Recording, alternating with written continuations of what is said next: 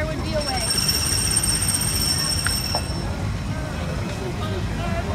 Yeah. Figure it out.